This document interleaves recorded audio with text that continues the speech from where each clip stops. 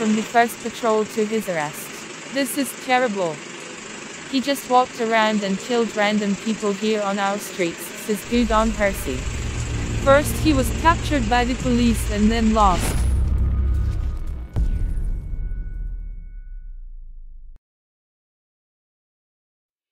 At 6.13 p.m. on Wednesday evening, the police received several reports that a man was walking through the center of Kongsberg and shooting an arrow. He moved to most of the city center and was, among other things, inside the Coop store. The man was arrested at 18.47. According to the chief of police of Kongsberg, Oyvind Aas, it took some time from the first patrol to his arrest. This is terrible. He just walked around and killed random people here on our streets, says Gudon jo First he was captured by the police and then lost. På nettet der. It in Sharpo Så 39, jeg datteren as min med scary to think that they did in Sharpo og fikk med seg 39, to pick him up until 18.47.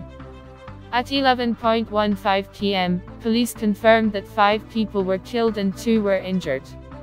A 30-year-old man is accused of murder and is in custody in Drammen. The police believe that he acted alone and consider it natural to assess whether this is a terrorist act. According to police, the man must have used a bow and arrow.